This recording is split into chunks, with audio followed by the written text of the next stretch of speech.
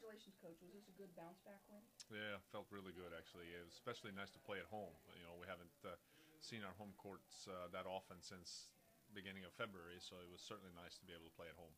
And then what stood out to you today?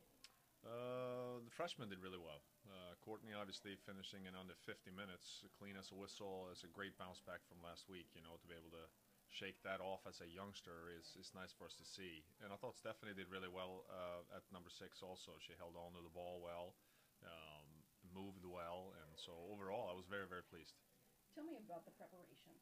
Um, you know, just trying to shake off and learn what you did from Alabama and then entering today.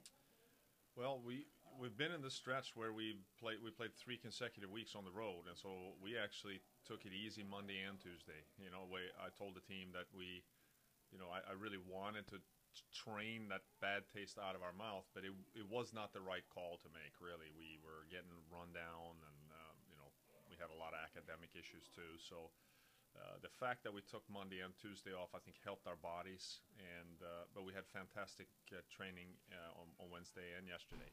And so I, it was the right call to make, and I, I think the team handled it. Uh, our seniors did a really good job guiding the, the locker room throughout this week. Okay, and what do you know about LSU? Well, they uh, like to play outside, much like the Gators. So I think the rallies will be long. Pace maybe not as great, you know, slower pace, more roll, run, and uh, hopefully the weather be nice and see the sun for a change here, and then it could be some really, really good tennis. But we need to be ready for extended rallies on Sunday.